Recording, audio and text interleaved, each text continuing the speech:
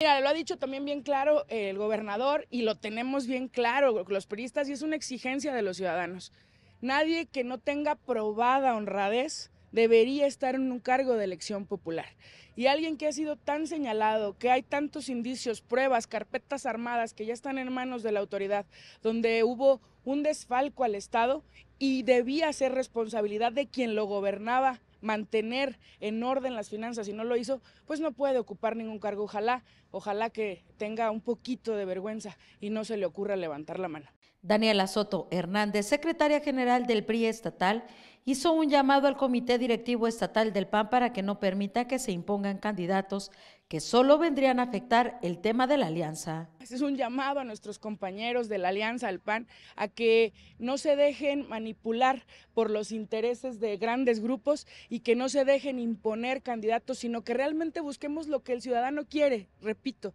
gente de probada honradez, gente que realmente ha demostrado que quiere el beneficio de los ciudadanos, no que llegó a un espacio que tanto anheló hasta se cambió de partido por lograrlo para pues ver el fracaso que vimos en este sector. Para terminar, Soto Hernández aseveró que el Comité Directivo Nacional del PRI tiene un amplio conocimiento sobre el tema del ex gobernador por lo que hay una clara convicción de que no se permitirá que este personaje pueda participar en el proceso electoral. Creo que va a haber una firme oposición de parte del priismo y seguramente también del PRD, creo que así por lo menos lo han manifestado ya que se acabó el sexenio, pero es el, el PRI sí estará firme en que no,